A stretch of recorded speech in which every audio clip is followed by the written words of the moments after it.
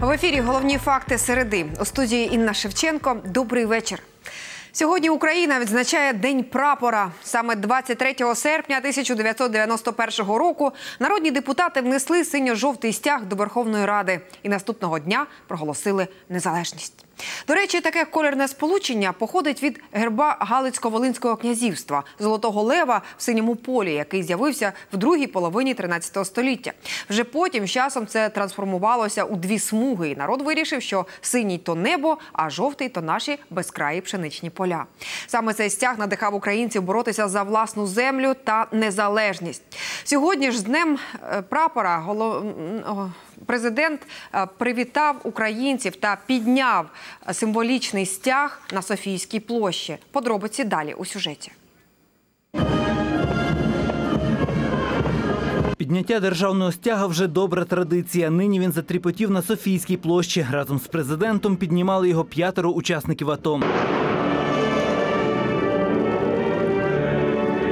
Звертаючись до українців, Петро Порошенко наголосив, головним гарантом нашої державності є Збройні сили, Нацгвардія та інші силові структури, які боронять Україну від російської агресії. Наш обов'язок як перед минулим, так і перед прийдешніми поколіннями зробити все можливе, щоб синьо-жовтий прапор знову гордо майорів над всією територією України, включно з Кримом, Севастополем, Донбасом. Президент обурений, що Росія кидає за грати тих, хто в Криму насмілюється вивісити жовто-синій стяг. Російських окупантів від українського прапору корчить, як чортів від ладану.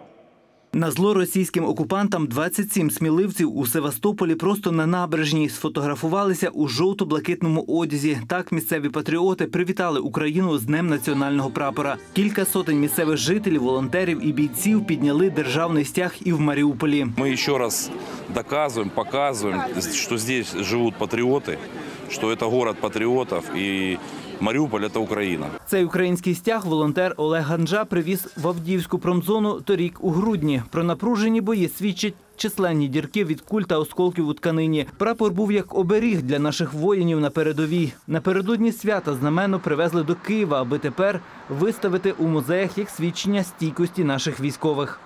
Наші захисники ціною свого життя, дивлячись на ці прапори, вони утверджувалися і отримували силу від Бога в захисті нашої батьківщини. 100 метрів над Дніпром найвищий прапор України підняли на Хортиці. В серпні 2014 року мій батько героїчно загинув е, при виході з оточення на сході нашої держави.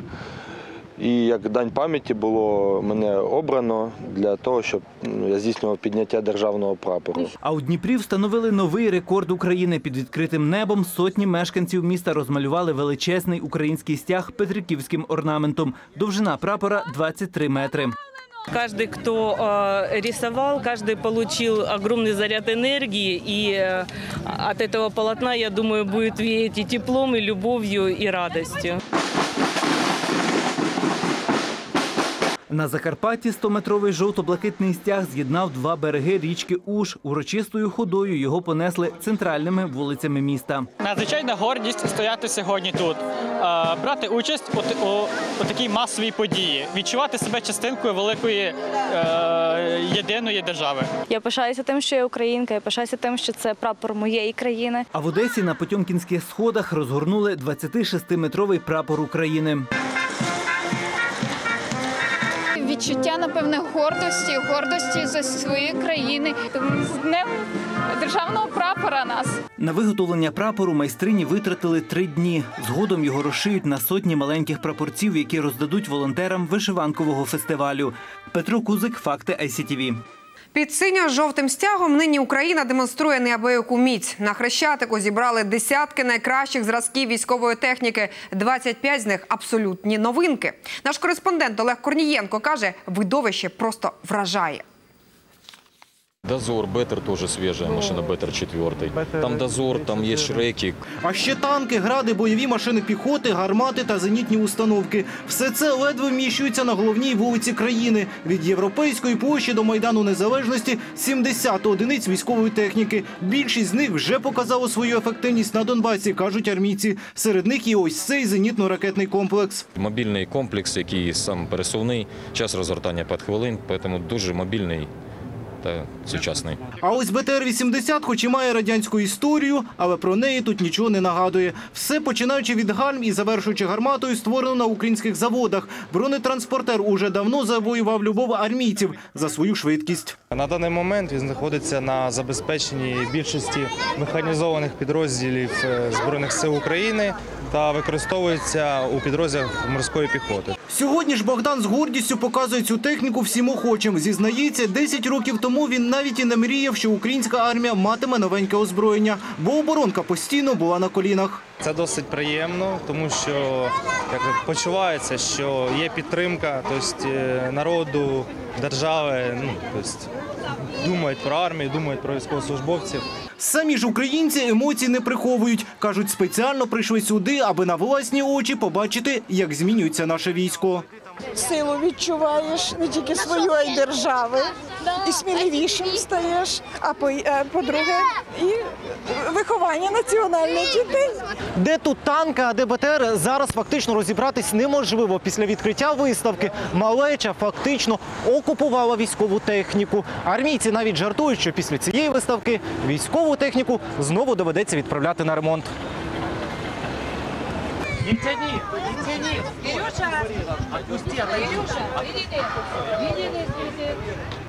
Мені сподобалася більш ракетна установка.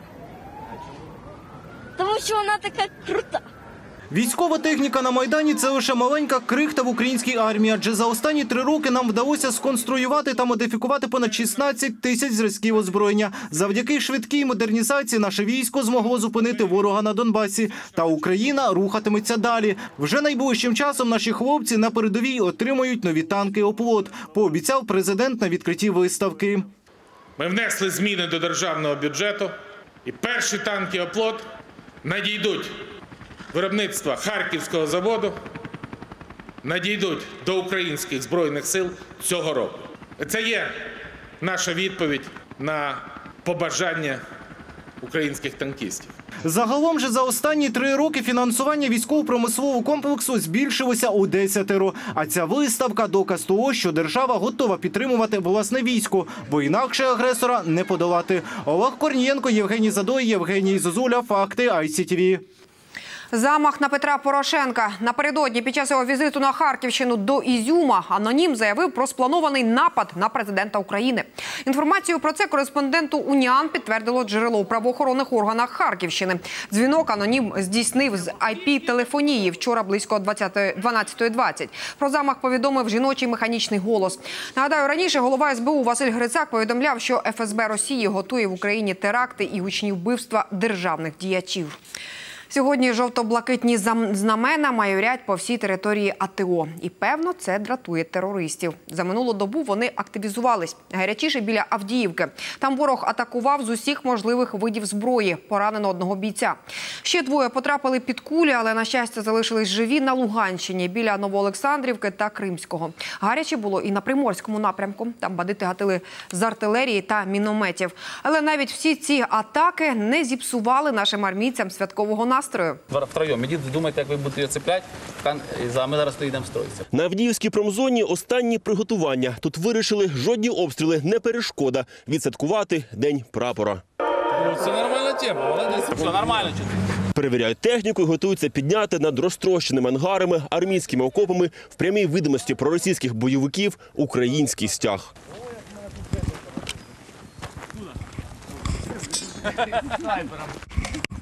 А ви за- а чим ви закріпите їх? А скотч. Урочисте шокування і момент, заради якого бійці ризикують життям.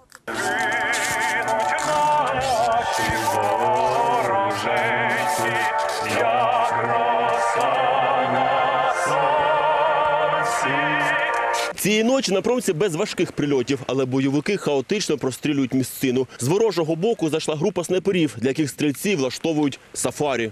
Ночью огонек его же видно, тем более, если оптика хорошая. Вот. На огонек можешь сработать, можешь сработать это самое. Ну, Если снайпер, то він работает наверняка. Вот. І висікається це все не одним днем і не одним тижнем. Через постійні стрілецькі бої вчора тут один поранений. Рикошетом куля влучила у руку. Саме такими пострілами терористи виманюють бійців, на яких полює снайпер.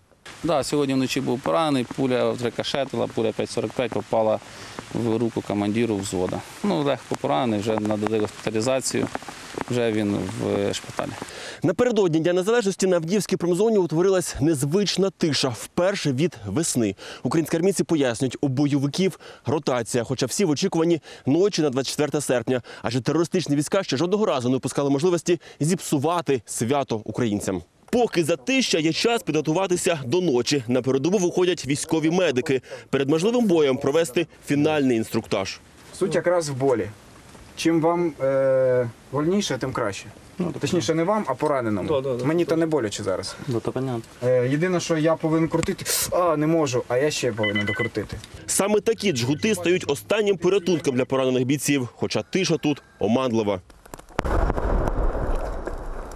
В очікуванні ночі передова в напрузі, адже кілька тижнів спостерігали, як бойовики підтягували важку техніку, не приховуючи навіть наявність танків. Танк виїжджав, працював, потім беха працювала, СПГ, РПГ.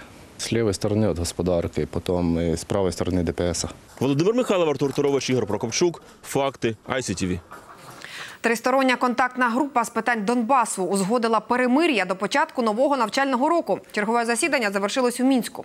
Україну, як завжди, представляв другий президент Леонід Кучма. Припинити вогонь на Донбасі мають від п'ятниці, 25 серпня.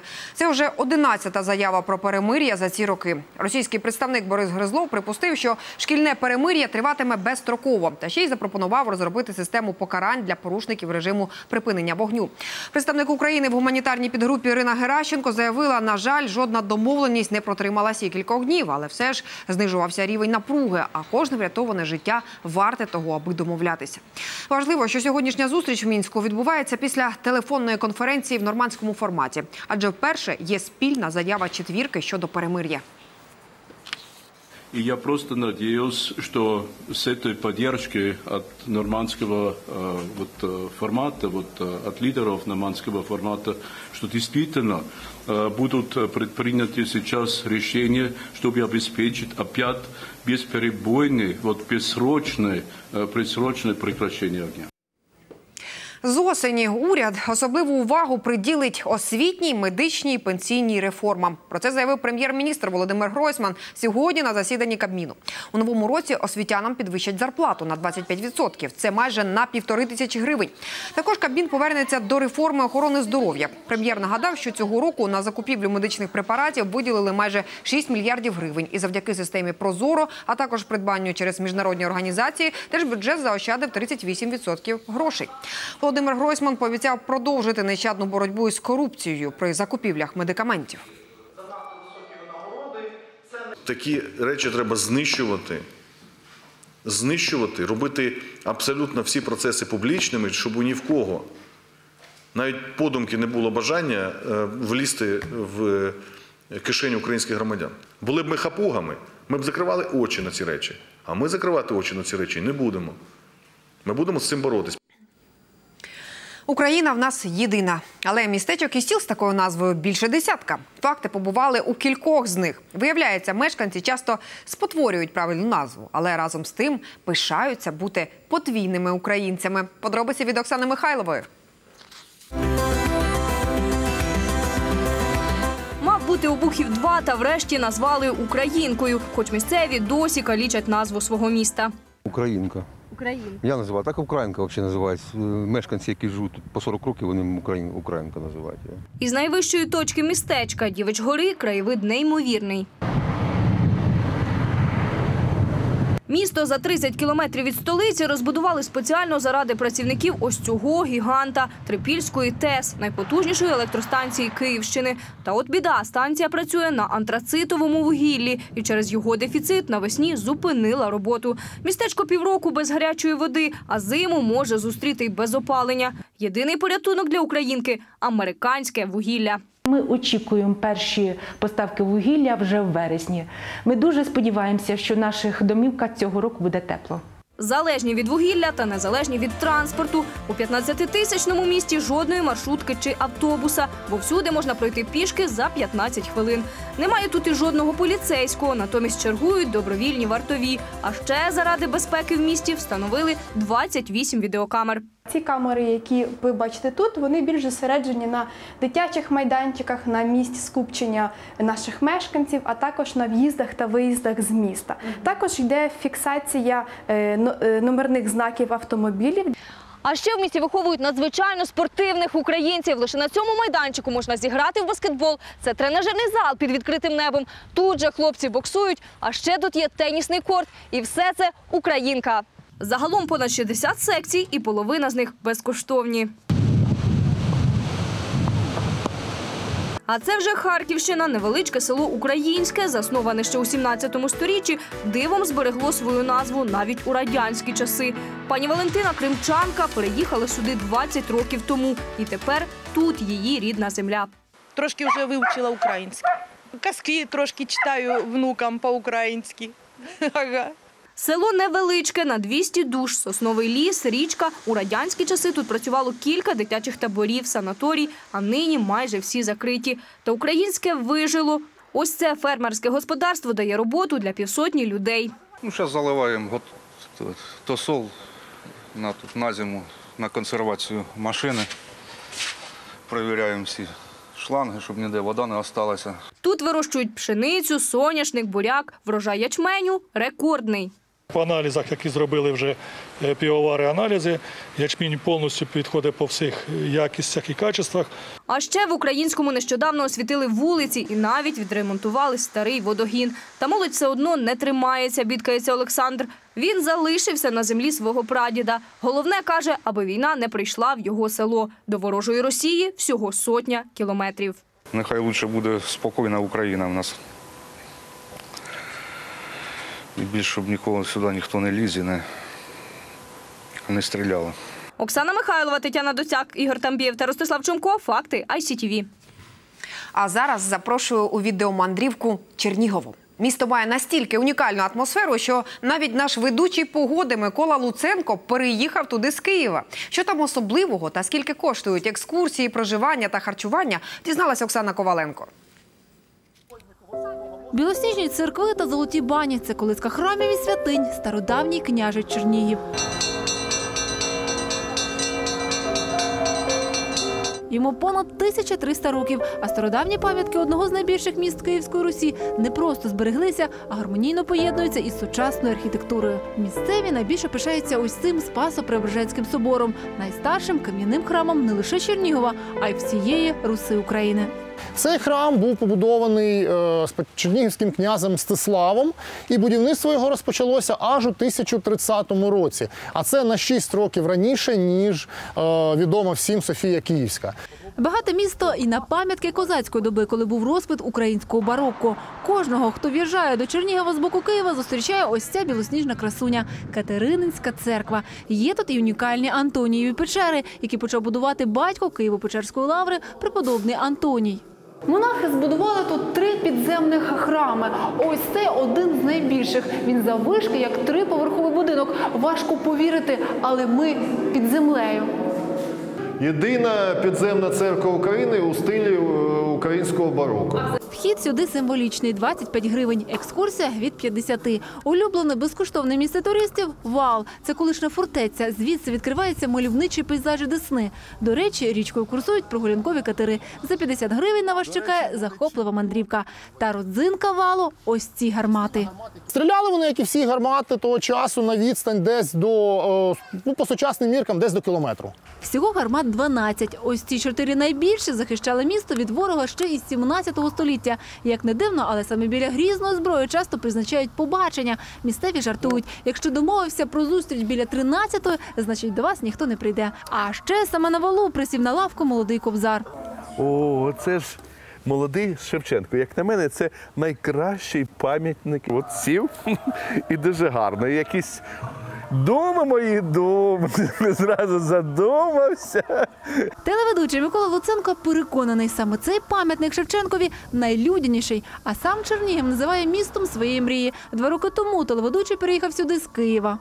Абсолютно. А не секундочки. Навпаки, я кажу, єдине розумне рішення, коли я за всю своє, за своє життя прийняв це, я приїхав сюди жити. Не пошкодують і туристи, які прийдуть сюди на вихідні. Проблем з житлом тут немає. У місті кілька готелей плюс хостели, за ніч яких беруть 100 гривень. Крім того, за 250 можна орендувати квартиру. Харчі теж доступні. Комплексний обід 60 гривень. Зі столиці до Чернігова всього 140 кілометрів.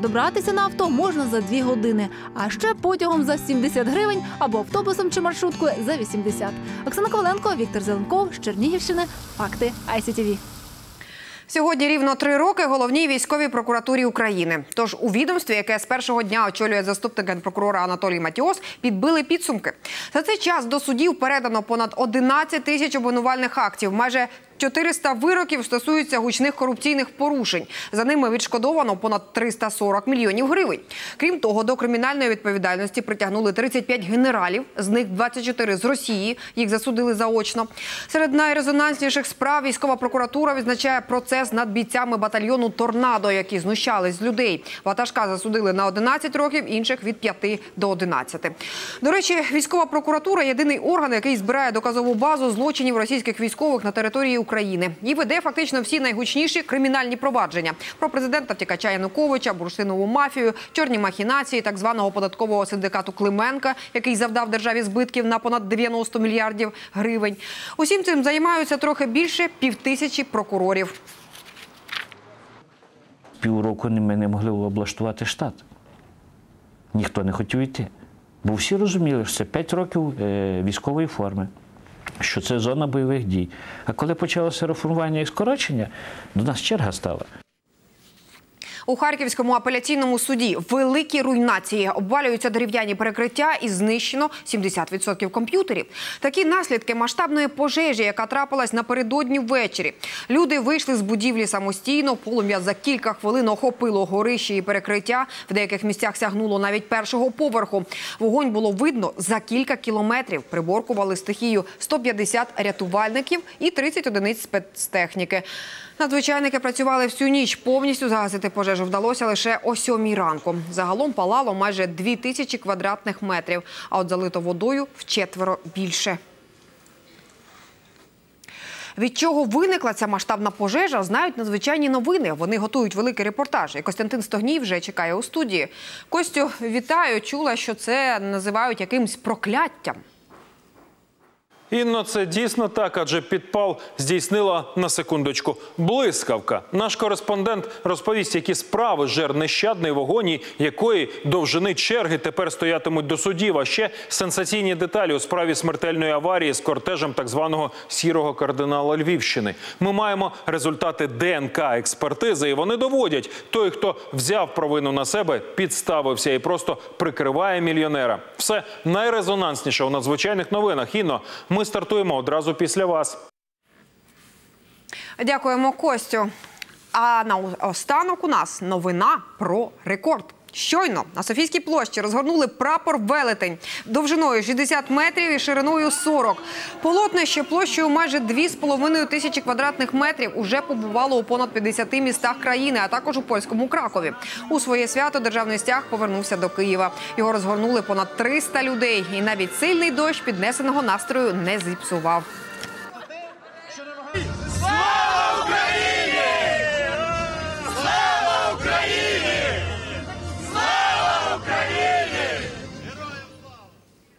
Отже, зі святом вас ми повернемося о 21.05. Гарного вечора.